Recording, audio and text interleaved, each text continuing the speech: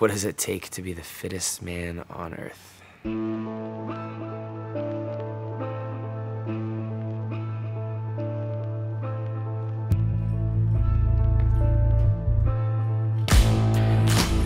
I think it takes everything and more.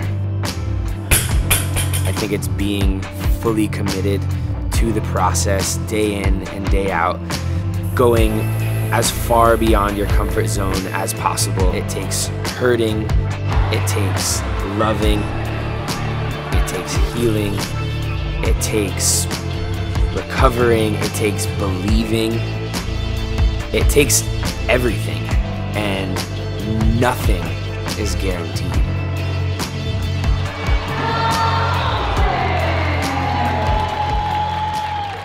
I guess in theory, I've been an athlete almost my whole life.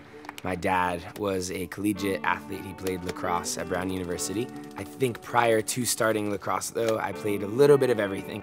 When I first started CrossFit, I didn't even realize that it was a sport, to be honest. I thought it was just kind of a workout program that was gonna get me ripped, jacked, shredded, all the things that I wanted to be as a college-aged male.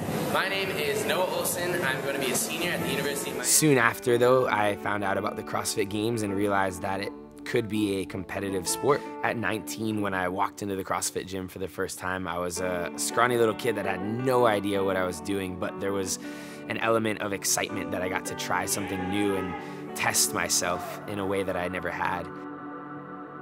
And I've gotten to the highest level of our sport. I've yet to win the games, but I've been close. And that whole process has not been easy. I think people that maybe haven't gotten a glimpse at the beginning of my journey could think that it has been, but it's been 10 years of just grinding.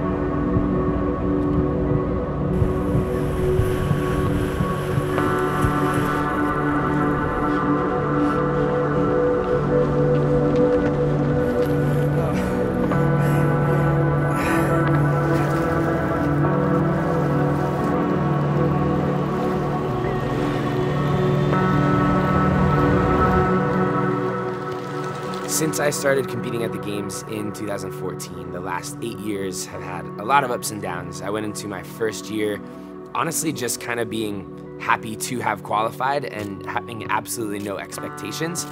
And then in the middle of that first year, I found myself in first place winning the CrossFit Games, which blew my mind because I was competing against a lot of guys that were like my idols at the time. Rich Froning, Jason Khalipa, Chris Spealler. But by the end of that weekend, I finished in eighth place, had a couple hiccups.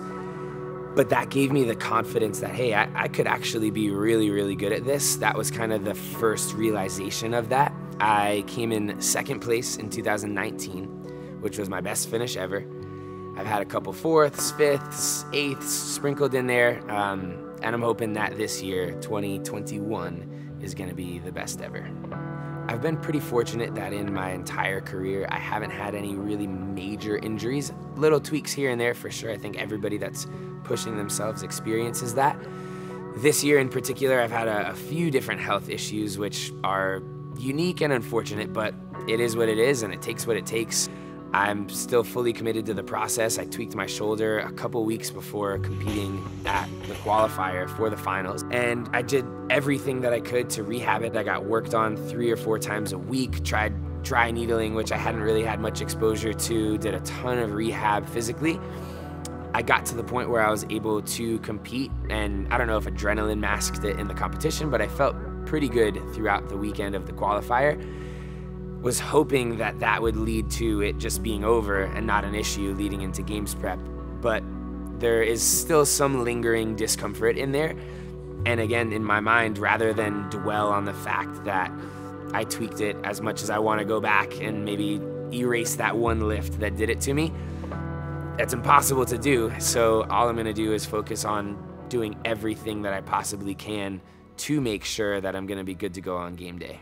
Obviously, my fiance Joanne has been the most awesome, supportive partner that I could have even imagined going through this journey.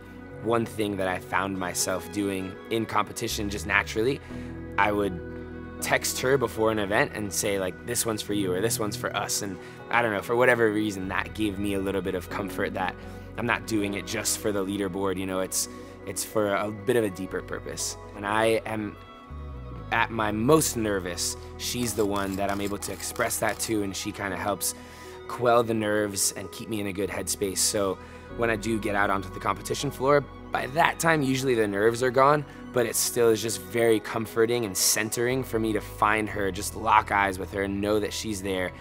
And it kind of reminds me that no matter how this workout goes, I'm gonna be okay because she'll be waiting for me when it's over.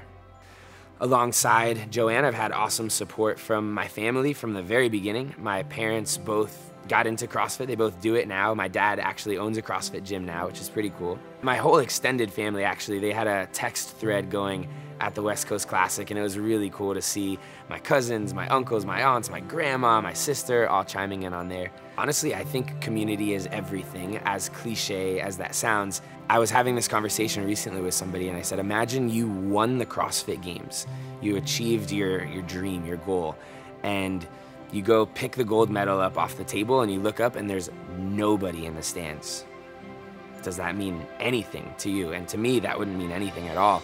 The big meaning behind the success in my sport is being able to share that with all the people that I've been on the journey with. My community, the community within the gyms, you know, it's all made the process for me so enjoyable that it's been sustainable. I think if I didn't have groups of friends and family and training partners that have made the process as enjoyable as it has been, I don't think I'd still be doing what I'm doing now it's not just about that gold medal. For me, being able to win and be the champion is the ability to share that with my closest people, to have them be proud of me and the journey that we've all been on together. I want them to feel like it's been worth it. You know, there are sacrifices that I've made that have impacted the people that I love.